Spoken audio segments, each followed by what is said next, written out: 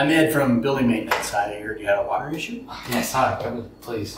Thank you for coming so fast. Oh, no trouble. No trouble at all. Oh, I just looked one floor down, actually, right below you. So what seems to be the problem? Uh, I noticed a leak from over here a few nights ago. The kitchen faucet? Yeah. Okay. Well, let me take a look.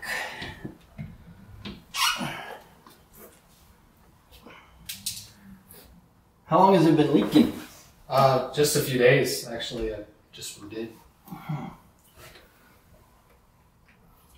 Well, it couldn't have been leaking that long because there's not a drop of water down here. Yeah, the, the only place I heard it leak from was the faucet. Oh, up top? Oh, okay.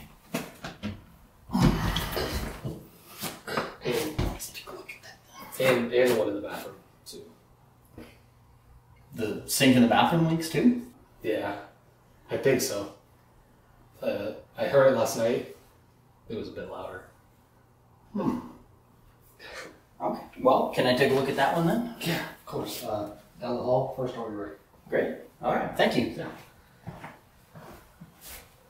Well, I'm not seeing any signs of any leaks. Uh, if you had a leak, there'd be some indication, but I'm not seeing anything anywhere. So, you said it was from both faucets, so just in case I tighten both of them down for you, you should be good to go. Great. Cool. Thank you so much. So, No problem. uh, how much do, do I owe you anything? Oh, it's all part of the gig. Don't worry about it. I do, however, accept tips and praise. Oh, uh, yeah, yeah, for sure.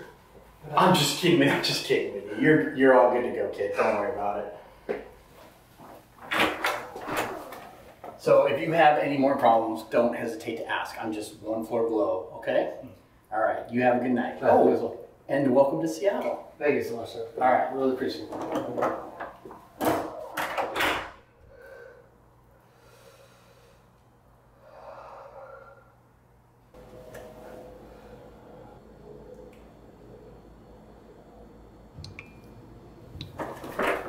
Sure.